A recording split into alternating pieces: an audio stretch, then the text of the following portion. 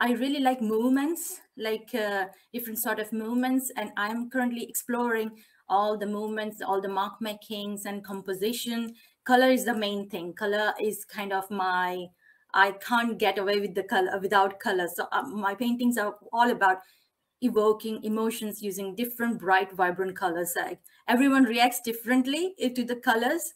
Even when I was painting animal portraits, they were all very colorful in watercolor. So whenever I went for exhibition, everyone without knowing me they say oh this one's maybe indian artist they say. Because they kind of describe my painting as a, a Holi a Holi do you know a festival of colors? Holi so we celebrate a color festival called Holi we kind of uh, throw colors at each other and celebrate that festival so yeah they were used to like describe my painting as Holi paintings. Like colors comes naturally through from i think when i moved to the uk i felt like it's very gray and everything because i came in winter. I felt like oh no it's uh, the, I'm, there is something lacking. I didn't know what but somehow the colors comes up in my painting and i then i realized okay this is it. There was colors that i am missing. It's very vibrant and it's all about movement. I'm just exploring all the movements and compositions